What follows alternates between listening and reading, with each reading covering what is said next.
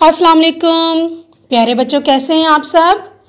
तो सब बच्चे जल्दी से अपनी सुरखा बुक निकालें और सुरखा बुक का पेज नंबर सिक्सटीन ओपन करें। यस ओके बच्चों, आज हम इस पेज पर तीन काम करेंगे।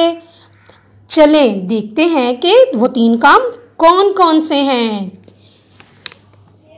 पढ़िए, पेंसिल फेरिए और दायरा लगाइए। ये तीन काम आज हमने इस पेज पर करने हैं, ठीक है? सब बच्चे अपनी इस बुक पर डेट लगा लें, ठीक है? होमवर्क। एंड डेट है आज दो अप्रैल 2021 ओके बच्चों, ये क्या है? ट। ये क्या है? ट। ये किसकी छोटी शक्ल है? ट की छोटी शक्ल है। और इसके ऊपर छोटी सी ये क्या लगी हुई है? यस छोटी तोएँ। आपने पहले भी ये पढ़ी हुई है, ठीक है? ये क्या है? ट ट ट्रॉफी ट ट्रॉफी ट ट्रॉफी ट ट्रैक्टर ट ट्रैक्टर ट ट्रैक्टर, ट, टब ट टब ट टब, ट, टमाटर ट टमाटर ट, टमाटर। इसकी रीडिंग करने के बाद आपने यहाँ पर अब करना है राइटिंग वर्क यहाँ पर आप ट्रेस करेंगे और यहाँ नीचे डॉट के ऊपर पेंसिल रखेंगे आप।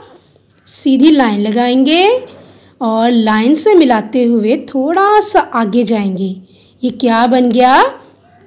ट की छोटी शक्ल ठीक है बच्चों? और ट्रक की छोटी शक्ल की तोहें आपने यहाँ लगानी है ठीक है? ये तीनों आ, तीनों लाइंस को फिल करने के बाद हम यहाँ पर अब देखते हैं कौन सी एक्टिविटी है। आए सब बच्चे मेरे साथ एक्टिविटी पढ़ते हैं कौन सी है? जिन तस्वीर की आवाज़ ट है, उन पर दायरा लगाइए। तो बच्चों, मुझे ये बताएँ, ये क्या है? यस टोकरी, ट टोकरी ट टोकरी, ट से बनती है ना? तो ये देखिए, यहाँ पर दायरा लगा हुआ है। अच्छा बच्चों, ये क्या है? ट, टोपी। तो आपने ट, टोपी पर भी दायरा लगाना है, क्योंकि टोपी की शुरू की आवाज़ ट है। हाँ जी, ये है ट टमाटर। ऊपर भी पढ़ा है ना आपने? हाँ जी तो ट टमाटर पे भी आप दायरा लगाओगे। ये क्या है बच्चों? ये तो अनार है।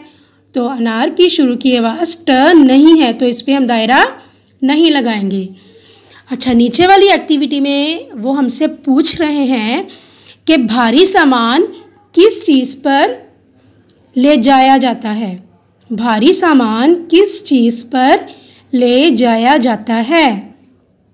भारी सामान हम ट्रक पर लेकर जाते हैं या साइकिल पर। मीन्स कि बहुत सारी चीज़ें होती हैं। वो हम साइकिल पर तो नहीं रख सकते ना। ये ट्रक लेकर जाता है भारी चीज़ों को, ठीक है? तो हम इस ट्रक पे सर्कल कर देंगे। ये काम करने के बाद आपने अब करना है सफ़ा नंबर सत्रह। और सफ़ा नंबर सत्रह में भी हम तीन काम करेंगे। सबसे पहले पढ़ेंगे, पेंसिल फेरेंगे और मिलाएँगे। यहाँ पर भी आपने डेट लगा लेनी है ऐसे, ठीक है? जैसे मैंने लगाई हुई है। चलें जी, अब हम यहाँ पर टे की आखिर की आवाज़ पढ़ेंगे। तो बच्चों, टे की आखिर की आवाज़ क्या है? ये देखें, ये क्या बना हुआ है? ऊँट। ऊँट, ये देखें, ऊँट ऊँट की ये देखें, टे की आखिर की आवाज़ ट है ना? इसका मतलब ऊँट की आखिर के पास ट है तो तो हम इसके साथ पढ़ेंगे, बड़ी टे के साथ। जैसे कि ऊँट ट ऊँट ट ऊँट ट। ये क्या है बच्चों? यस रॉकेट क्या है ये? रॉकेट रॉकेट रॉकेट ट रॉकेट ट रॉकेट ट रीडिंग करने के बाद हम अब यहाँ पर करेंगे राइटिंग वर्क तो ये देखें बच्चों डॉट के ऊपर पेंसिल रखें लाइन के साथ मिलाएँ आगे जाएँ आगे जाएँ, और यहाँ पर आपने स्टॉप कर जाना है। जब आपने यहाँ स्टॉप करना है तो थोड़ा सा ऊपर जाना है, ठीक है? जितना ये डॉट है ना, आपने उतनी ही यहाँ पर भी लाइन लगानी है, ठीक है? जब आप ये लिख लेंगे, फिर आपने इसके ऊपर लगा देनी है छोटी सी तोएँ। ठीक? ये भी काम आपने जब कर लेना है, उसके नीचे है एक एक्टिविटी सरगर्मी। हाँ सरगर्मी मेरे साथ पढ़ें सब बच्चे। हर्फ की शुरू की आवाज़ और आखिर की आवाज़ को दुरुस्त तस्वीर से मिलाइए। तो सबसे पहले हम जिन तस्वीरों को मिलाएँगे, वो बनती हैं ट की छोटी शक्ल से, जैसे कि ट, टमाटर,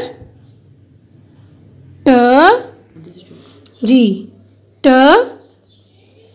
टमाटर, ट से क्या बनती है और ट, टोपी, और ट से और क्या बनता है, ये देखें। मैं पेंसिल को टोकरी के पास लेकर जा रही हूँ, ये क्या है?